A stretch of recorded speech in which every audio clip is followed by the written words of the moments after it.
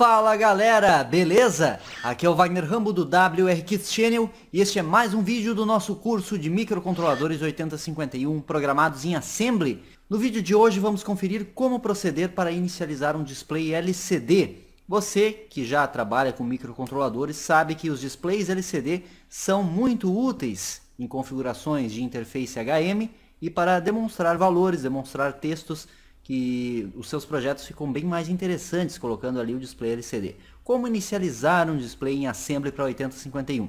Vamos conferir hoje. Segura aí!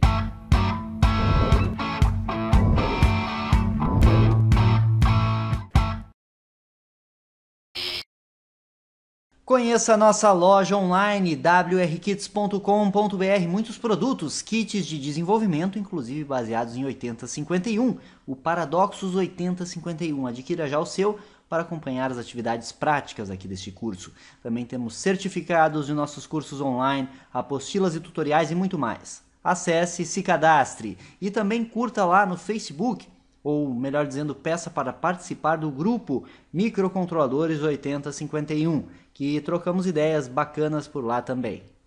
Hoje vamos começar aqui no Isis Proteus. Eu tenho um display LCD, o LM016L do Proteus, que é o padrão dos displays. Os displays LCD eles funcionam com um microcontrolador, ou melhor dizendo, um processador da Hitachi, que é famoso por controlar e ser responsável por enviar cada pixel para o display LCD. E ele só precisa ser comandado. E como comandá-lo? Utilizando um outro microcontrolador. A partir disso você consegue controlar e enviar informações para serem exibidas no display. Esse diagrama esquemático é um diagrama simplificado da Paradoxus 8051, onde temos o barramento dos dados do display aqui no port P2, então serão 8 bits, no modo de 8 bits, o RS está aqui em P1.5, o RW em P1.6 e o Enable em P1.7. Estas são as ligações.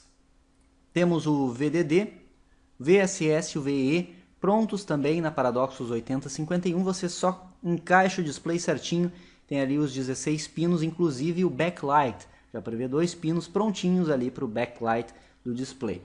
Estas são as ligações e vamos para o software. Na ideia do 8051 está todo desenvolvido. A ideia é inicializar o display hoje. Não vamos fazer nenhum Hello World, não vamos enviar informações. Você precisa aprender passo a passo, porque em Assembly é tudo no braço mesmo. Você tem que enviar bit a bit o que você quer configurar do seu display. Nada daquelas funções bonitinhas e fofinhas ali, LCD init, LCD print, essas coisas. É um pouco mais complicado. Então, e inicie seu código declarando os pinos que você vai utilizar. Então, o mapeamento de hardware aqui da Paradoxus 8051, RS está no P1.5, RW no P1.6, Enable no P1.7 e aqui DAT, Data, ou os dados, os 8 bits, estão em todo o porte P2. Por isso, DAT igual P2.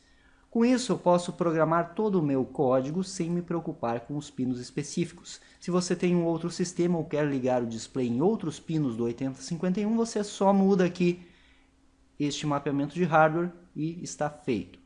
Beleza? Aqui temos o vetor de reset e eu chamo uma subrotina de 500 milissegundos. Isso é um atraso de meio segundo antes de começar a processar os dados para o display. No programa principal, eu só estou chamando uma subrotina que eu dei o nome de LCD underline init, que é a inicialização do display. Como eu sei quais valores eu tenho que enviar para inicializar o display de forma adequada? Datasheet, eu sempre bato nessa tecla porque é muito importante você utilizar o datasheet de qualquer dispositivo. Então procure o modelo display no Google pegue o datasheet em PDF e vai ter este arquivo. Eu vou deixar para download este datasheet aqui, mas a pinagem pode mudar de display para display, por isso é interessante você pesquisar para o seu modelo, certo? Na página 13, se não me falha a memória, está aqui a sequência de inicialização. Veja que ele mostra bit a bit o que você precisa enviar para o display para escrever, para inicializar o display. Escrita no display é um assunto para próximas videoaulas. Primeiro a function set, aí tem os pinos que você vai trabalhar, veja RS, RW e os oito de dados. E o segredo todo está nos dados. Veja que RS e RW, na inicialização, estão sempre em zero. Então você sempre tem que limpá-los. Só isso. Os dados que você vai selecionar de acordo. A function set, você precisa enviar o valor 0011 e aí veja que DB3 e DB2 dependem de N e de F. DB1 e DB0 não importa, então vamos jogar zero neles. DB3 o que é? É o N, então você olha na tabela. É one line mode ou two line mode? São duas linhas, porque eu quero escrever nas duas linhas, vamos supor. Então tem que colocar um no N. Show, coloquei um no N e o F o que que vai? Display off ou display on? Display on, então coloco 1. Aí eu já sei o primeiro valor de 8 bits que eu quero carregar, é 00111100, certo?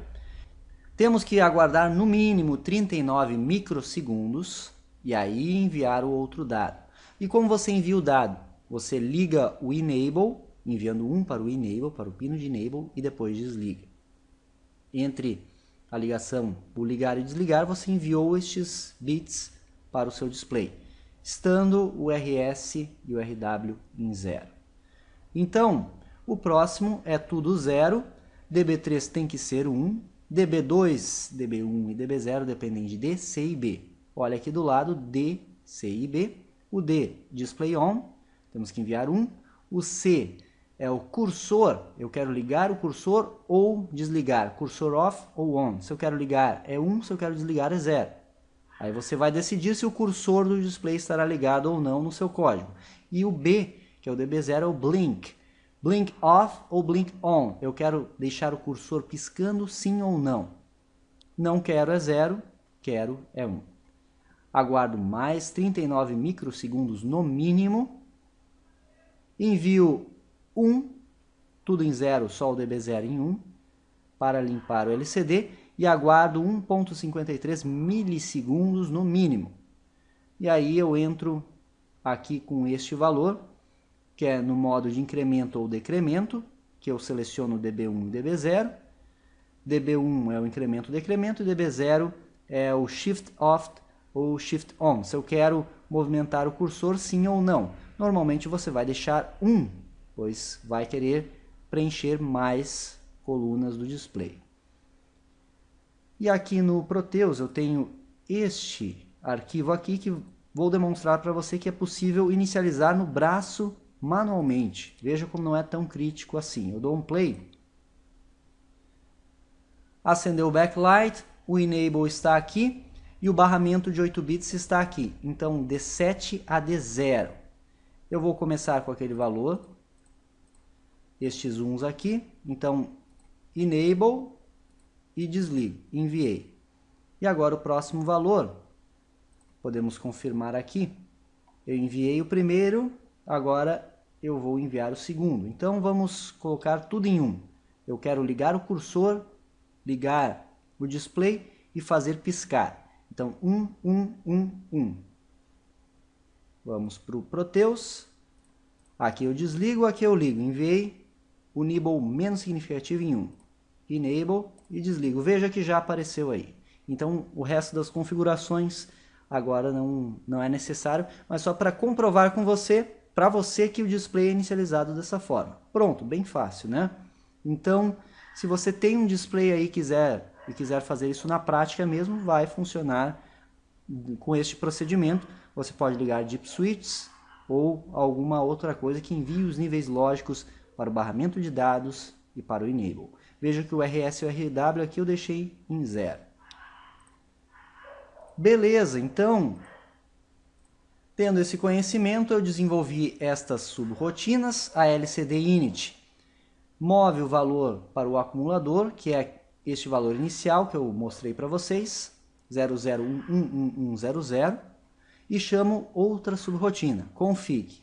A config vai limpar o enable, limpar o RS, limpar o RW Chamo uma subrotina que espera aproximadamente 55 microsegundos. Eu deixei um tempo a mais já prevendo aquela, aquele delay de 1.53 milissegundos. Então vou chamar 3, ou melhor dizendo, 4 vezes isso aqui, dá mais ou menos uns 2 milissegundos de espera. Eu seto Enable, aguardo, atualizo o dado movendo o valor do acumulador, aguardo e limpo o Enable. E aguardo e retorno. Quando eu retornar, eu movo um novo dado para o acumulador, que é 1110. No caso, eu selecionei aqui para não, não ter o blink. Apenas eu inicio o LCD sem o blink. E depois disso, chamo config, então limpo os três pinos, aguardo, ligo o enable, atualizo o dado, desligo o enable e assim por diante. Eu movo o valor para limpar o LCD, chamo config. E movo o último valor para, sele para seleção e chamo config e retorno.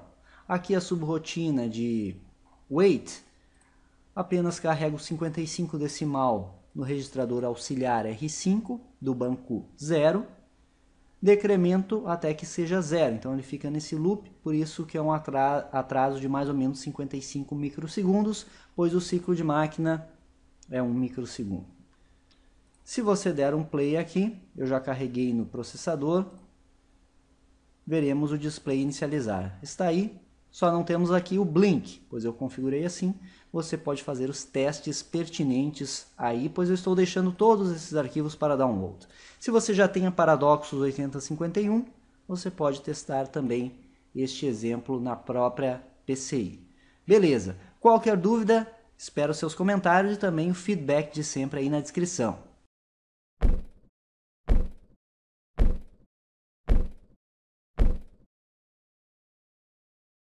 Esse foi mais um vídeo do curso de Assembly para 8051. Clique em gostei, favorite o vídeo, compartilhe com todos os seus amigos. Se é novo aqui no canal, se inscreva. Botão aqui embaixo inscrever-se, clique nele e marque a caixinha para receber nossas atualizações. Sempre que sair um vídeo novo, você recebe. Aqui tem vídeo todo dia, cursos, projetos, tutoriais, muita coisa bacana para você. Obrigado por assistir e nos siga em todas as redes sociais. Aquele abraço e até a próxima!